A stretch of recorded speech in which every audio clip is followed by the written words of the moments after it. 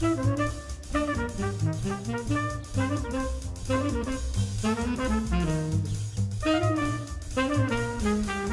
mijn jeugd kwam ik altijd in het dorp bij de Smit. Ik vond het prachtig wat die man deed.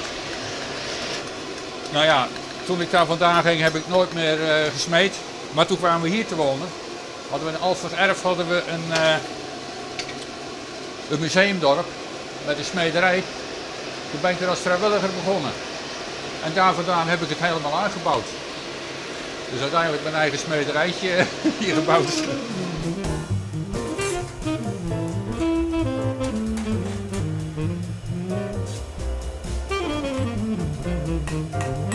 Nou, de laatste baan was bij uh, Kwantcontrol in Sneek.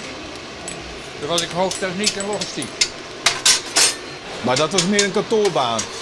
Het is altijd een kantoorbaan geweest bij mij. Ja. Maar je met pensioen bent, dan kan je eindelijk gaan doen wat je leuk vindt.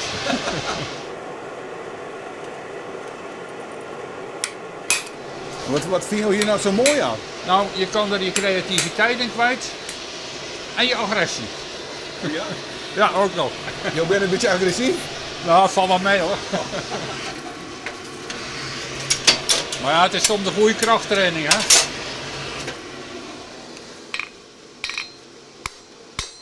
Meestal één middagje in de week. Of ik moet een opdracht hebben. Dat heb ik ook wel eens. En dan, uh, dan wil ik wel eens even doorgaan. En soms heb ik iets bedacht om te maken wat ik zo leuk vind. Ja, dan blijf ik bezig hè. dan moet het af. Maar wat binnen nou zoal dingen die je maatje? Uh, uithangborden. Uh, ja, ik heb hier ook twee poortjes nog. Ik heb voor de buren nog een keer een poortje gemaakt. Ja, en hier kan je een klein beetje zien wat ik maak aan kleine dingen. Het, uh, het geeft een beetje mijn handvaardigheid weer. Ik heb hier bijvoorbeeld een, uh, een flesopener, uh, een tovenaar. en een bijpassende briefopener voor je e-mailtjes.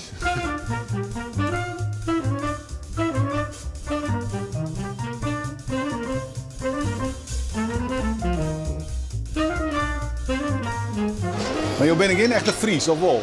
Ik ben geen Fries, nee. Ik kom oorspronkelijk van Goede Overflakke. Ja.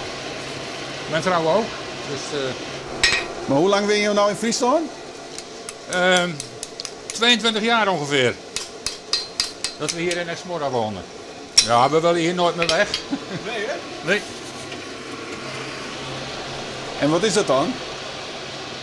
Nou ja, de natuur, de omgeving, de mensen. Lieken wij wel een beetje op zeeuwen? Ja, ja, er zit, ja, er zit wel wat in. Wat is hij dan?